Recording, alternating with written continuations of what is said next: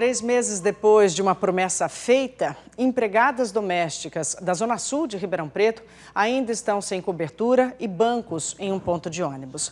Esse pedido foi considerado pequeno e fácil de resolver, mas ainda assim não foi feito. Hoje a situação está pior e você vai entender, entender por quê na reportagem do Rafael Pasquim. A espera no ponto de ônibus continua debaixo do sol.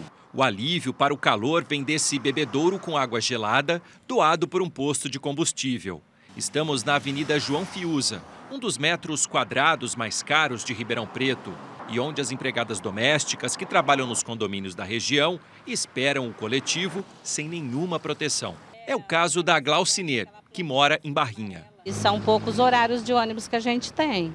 Então você perde, que nem eu perdi meu ônibus por cinco minutos. Agora eu vou esperar quase uma hora aqui o outro ônibus, nesse sol danado aqui.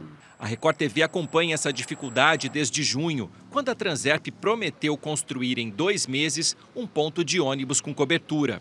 Solução que parecia ser fácil. Nós temos uma demanda muito pequena, que é, que é, do município, em torno de 10 pessoas por dia. Independente disso, nós vamos fazer a colocação dos abrigos para dar um conforto uma segurança maior para esses passageiros. Afinal de contas, eles vêm trabalhar em Ribeirão Preto, então nós vamos é, colocar esses abrigos no local. Estruturas de ferro e concreto foram feitas nos dois lados da avenida. Trabalhadores que preferiram não se identificar disseram que o alicerce foi feito por uma empresa que está erguendo essa obra e a Transep se comprometeu a montar a estrutura. Ribeirão Preto tem mais de 3 mil pontos de ônibus. Quase metade não tem nenhum tipo de proteção. Tem dia que a gente se molha todinha. Ajuda demais. E o sol quente também, né? Vai ajudar muito. Os ônibus que passam por aqui são intermunicipais. Uma resolução de 2017 limitou a circulação desses coletivos nas ruas de Ribeirão Preto.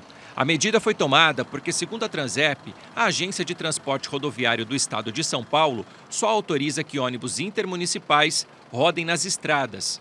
Por isso, quem vai para as cidades vizinhas precisa caminhar até o final da avenida, onde os ônibus pegam os passageiros e já seguem viagem. Uma estrutura, né, gente? Porque é sem condições ficar aqui.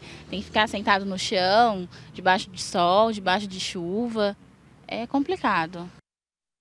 Nenhum representante da Transerp quis gravar a entrevista. A empresa disse numa nota que deu início à construção do ponto e que o serviço deve ficar pronto até o início do mês que vem. A Transerp não explicou o motivo do atraso para cumprir essa promessa.